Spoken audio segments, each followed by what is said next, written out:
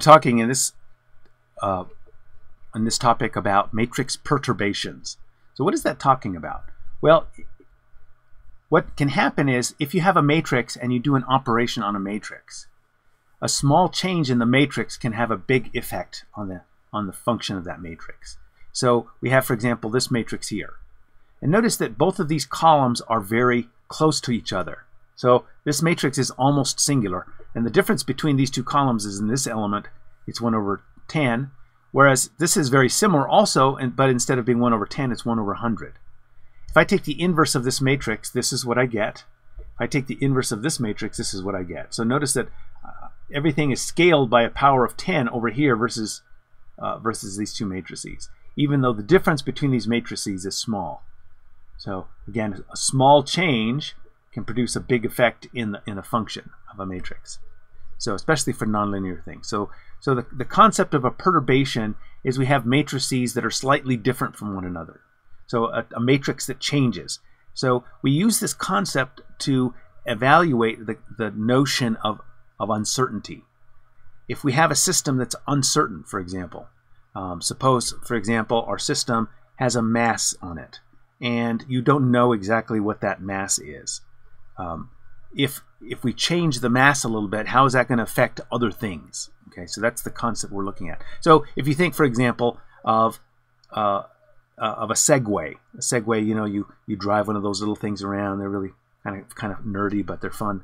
Um, if you uh, when they designed that thing, they didn't know what size person or what weight the person was going to be that was going to get on that thing. So you can have a small person get on there, a, a really big person get on there, and it and it still works. So so it's uh, it's able to handle that change in in that parameter of mass.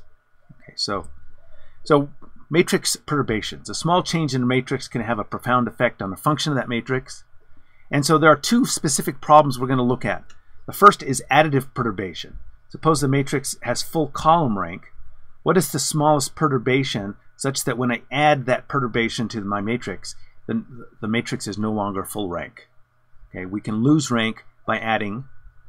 Or suppose now, so that's the first problem. That's an additive type of perturbation. We can have a multiplicative type of perturbation. So here, A is multiplying by our, our uncertainty, our, our perturbation matrix. And so what is the smallest delta so that this uh, determinant is equal to zero. Okay, so it turns out this quantity is important for us because later on we're going to be looking at stability of systems, and this kind of quantity is going to is going to have an impact on whether our system is robustly stable or not. So, so what is this saying? Well, we know that if delta is zero, the determinant, then we're just taking the determinant of i, right? So um, if delta is not zero, how large can delta be before this determinant becomes zero? So that's the question that's going on here. So in each of these cases, we're looking at what is the what is the small, or rather, in this case, it's what is the smallest perturbation so that this matrix is no longer full rank. Or another way of saying it is, what is the what is the um, coming up from zero what is the largest delta so that when I add uh, the largest delta coming up from zero, that when I add these two together, I get, I lose rank. So here, this is, what is the largest coming up from zero, delta, so that when I, when I multiply this out, I get zero. I get a zero determinant. So th those are the kind of, you can look at it two ways, one in terms of smallest, or another way is in terms of largest. All right, so the, the text basically has this theorem. Suppose A is a complex matrix with full rank. Then the minimum, if we minimize over all deltas, complex matrices, if we minimize the 2 norm, okay, so that's what this, this statement is saying.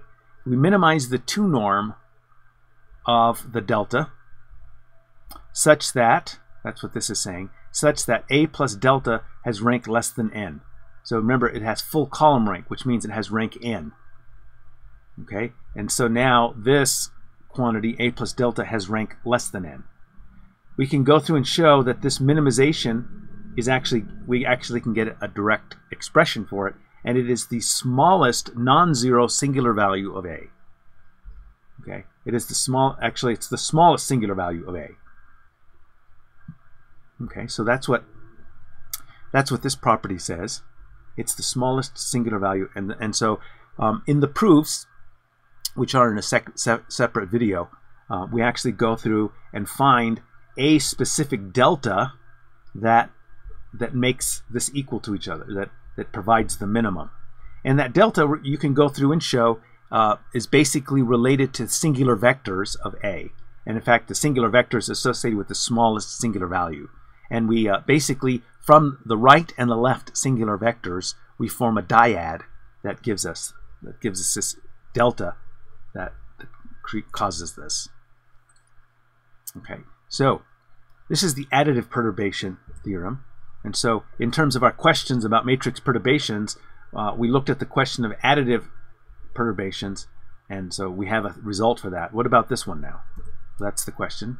So this brings us to the next thing, which is called the small gain theorem. We're going to see later why what why that name is appropriate.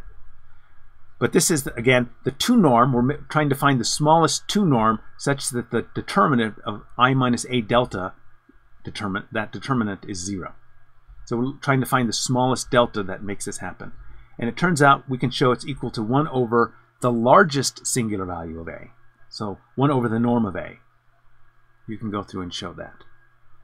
So again, in the proof, we actually go through and form a delta that does this. The delta that does that again is going to be a uh, is going to be a dyad, and that dyad um,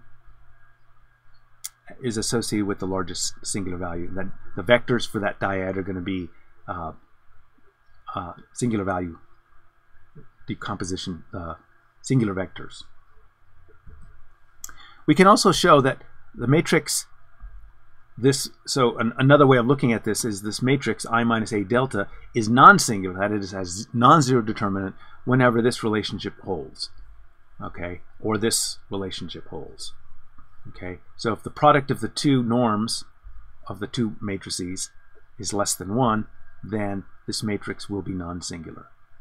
So this is some information about perturbations. We're going to come back in the next topic and look at this in a little more detail and look at something called the structured singular value, which is related to other singular values, but it's obviously it's different. Um, so, um, and it it is an important thing in terms of analyzing a system for its robustness. So, but this is now uh, a little bit about matrix perturbations.